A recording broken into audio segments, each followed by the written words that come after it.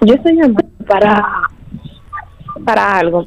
¿Sabes? Yo tengo un esposo. Tenemos como casi tres años. Ok. ¿Qué pasa? Últimamente eh, yo lo he notado raro. O sea, tengo mucho tiempo notándolo medio raro.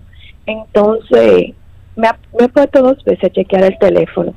Él se pone a escribir, se escribe con mujeres, le dice cosas que yo me quedo sorprendida. Y yo, wow, Dios mío, pero eso no es la persona que yo vivo. Que realmente yo me he quedado yo digo, Dios mío, pero qué muy, ¿cómo una persona así puede decir yo te amo? ¿Cómo una persona así puede decir yo te quiero a ti? Yo sinceramente no lo entiendo, realmente. Tú estás enfocada en querer entenderlo a él y tú lo que tú sientes, cuéntame, ¿para cuándo lo dejamos?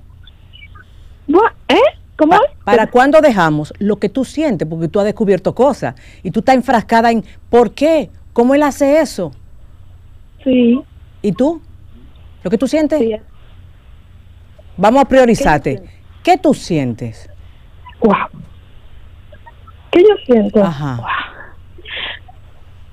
Que yo, yo creo que eso no da para nada ya, porque realmente yo me pregunto yo, ¿qué, qué siente él por mí? No, no, no. Piensa en ti. ¿Qué yo siento? Que yo siento Ajá. muchas cosas. Muchas cosas. Vamos a comenzar a ponerle nombre. Ven. ¿Qué cosas tú sientes, mi niña?